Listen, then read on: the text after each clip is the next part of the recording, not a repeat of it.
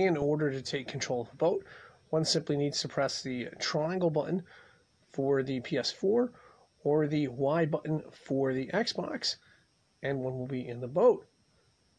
To steer the boat or row the boat, one will use the left analog stick, and to paddle or row faster, one will simply tap or hold the X button on the PS4 and, of course, the A button on the Xbox One.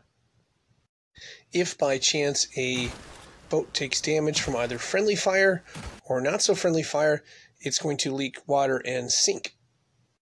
To climb onto another boat, we're going to press the square button for the PS4 and the X button for the Xbox One. To take control of a boat, we are simply going to go to the back and press the triangle button. Not all boats can be taken control of. This one can, however. So that's kind of good. But again, we take any damage, the boat is going to sink. Now, if one notices John Marston's stamina bar is automatically at zero, we can figure out that we are pretty much done and there's no way we can escape this. In contrast to Marston, Arthur Morgan can swim, as evidenced by the stamina bar not draining all the way, which is nice because we have a little bit more time to get to this boat right here. Then we can simply climb up on the side, and then, of course, press the triangle button to uh, take control of it. And the nice thing about a rowboat is that we can use it to board a steamboat, such as the one we're going to board right here. Now, one thing to keep in mind is most of these boats cannot be controlled. The one way we can find out is to go to the top and try to press the triangle button. If that works, we take control of it. If it doesn't, we can't. In this case, we can't take control of it.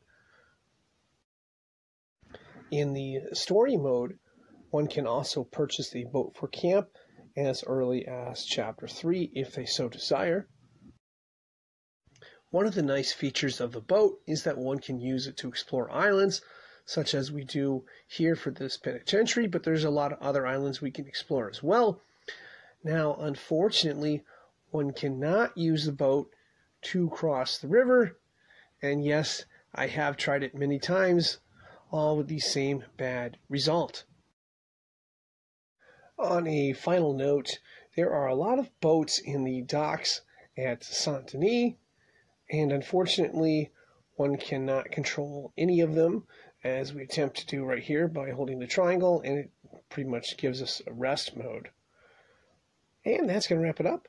As always, for more tips on Red Dead Redemption 2, there's a playlist on this channel to make it easier to find, I will put a link in the description. Thanks for watching.